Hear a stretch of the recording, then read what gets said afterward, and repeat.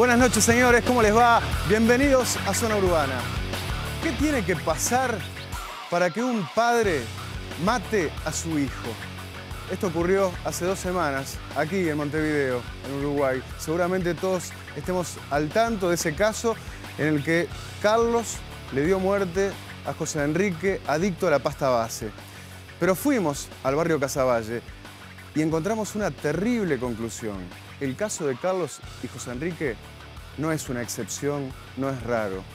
Hay muchas madres que reconocen estar dispuestas a matar a sus propios hijos. La desesperación es la tónica de una realidad que muchas familias sufren hoy en Uruguay. Desesperación de esas madres y desesperación también de esos hijos. En algunos casos, niñas como Jocelyn y que desde su inocencia infantil reconocen la impotencia para luchar contra la lata de la que son prisioneras.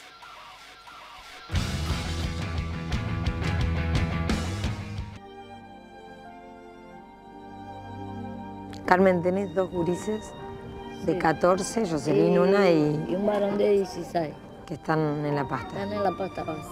Ellos. Y yo en mi cuarto me cierro con candado Para dormir. para dormir. Pongo todo lo material, los platos, las ollas, garrafa, todo, para dentro de mi cuarto. Que al otro día tengo que andar haciendo mudada para la cocina. Si no te venden las ollas, la garrafa. Ya me han vendido las ollas. He pedido a mi hermana que me prestaran olla para cocinar, porque me he levantado de mañana y no tengo olla. ¿Qué te hacen? Me tiran piedra, cascote, o llegan a pegarme, porque el más grande, 16 años, me tiró con una silla que me desmayó. Me dejó tirada. Sí, tengo a veces ganas de matarlos. ¿Por qué? De tan desesperada que estoy. Seguramente hasta hoy pensemos saberlo todo, casi todo sobre la pasta base, pero créanme, nos vamos a sorprender del drama que se vive efectivamente, de la dimensión que alcanza esta problemática, para palpar algo que sí, podemos haberlo sabido a partir de los titulares, pero que encarnado en esta realidad es verdaderamente desesperante.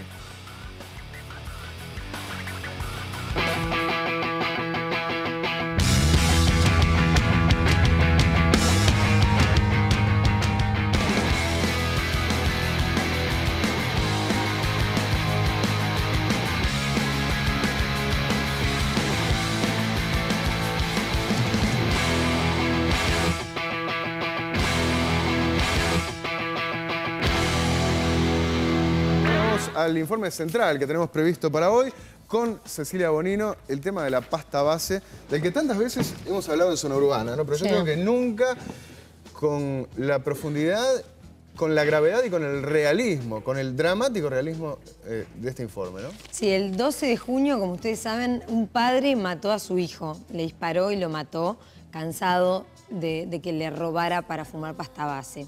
El 24 se reunieron, el 24 de junio se reunieron por primera vez las madres de la plaza.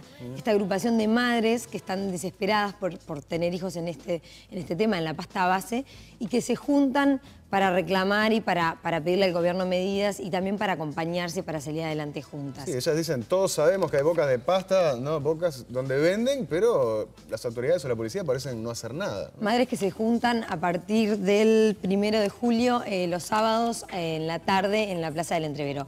Pero lo que me interesa, te, lo, te cuento eso porque me interesa destacar una carta que nos mandó una de esas madres que integran eh, las madres de la plaza. Y dice así, el día sábado 24 nos reunimos bajo la lluvia en la Plaza del Entrevero. Allí conocí a María Cristina, vecina del señor que días atrás mató a su hijo, vecina de Carlos Machado, de quien vamos a hablar ahora.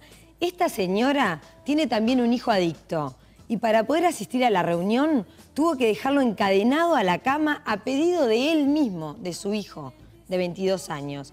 Él mismo le pide que lo mate. ¿no? Entre lágrimas y desesperación me contó que él está postrado, marginado y desesperado.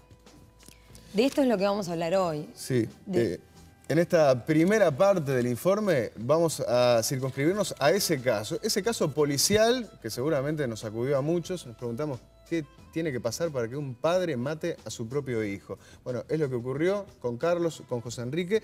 Y aquí, más allá de la noticia de la que todos fuimos testigos, vamos a calibrar el verdadero drama y profundidad de la historia. Van a ver a una madre absolutamente dolida, eh, a un padre que estaba desesperado, a un hijo que también, vaya si lo estaría, la rabia del hermano, que no puede entender cómo el padre hizo eso, y mucho amor también en el medio de todo eso como sensaciones encontradas. Vamos al informe.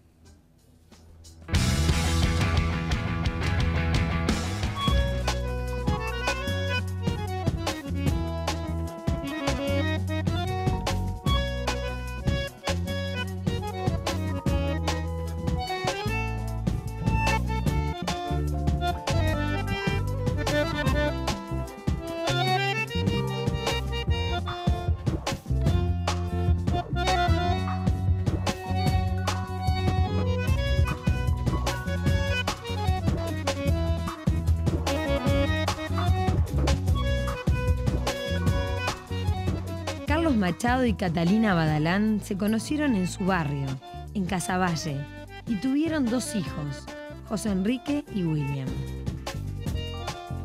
Vivieron juntos 11 años, hasta que la relación se deterioró y decidieron separarse. Desde hace 15 años, Carlos vivía con su nueva esposa, Carmen, a pocas cuadras de la casa de Catalina.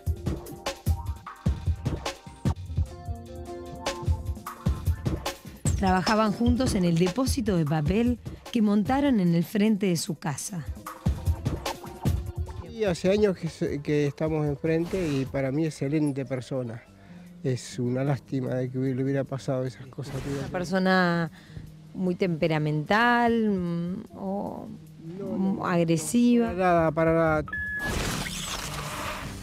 Los hijos de Carlos nunca vivieron con él, pero al principio tenían trato y hasta trabajaron en su depósito. José Enrique era el mayor. Tenía 27 años y tres hijos. Estuvo preso dos veces por hurto, la última vez en el 2005, y desde que salió de la cárcel trabajaba en la usina número 5 clasificando basura.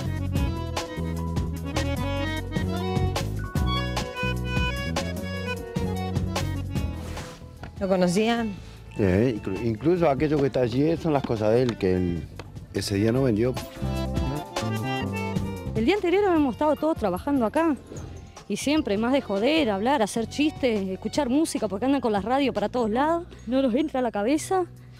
Lo que le pasó, no, es increíble. Él tuvo dos años y pico acá, y nunca tuvo problema con nadie. Era laburador, ¿eh? Si no va a laburar. Se rompía el orto laburando el monstruo. ¿Cuándo fue la última vez que lo viste? El día que lo mataron. No sé la última vez Ya me dijo, oh gordo puto, ya vengo, me dijo. No lo vi más. No lo vi más. No lo vi más.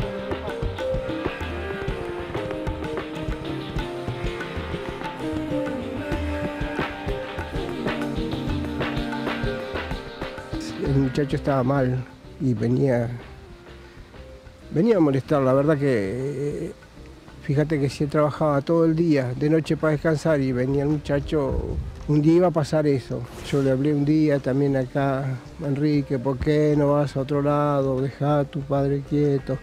Este, dice, no, es acá, dice, porque acá dice, si yo agarro alguna cosa, dice, no voy preso.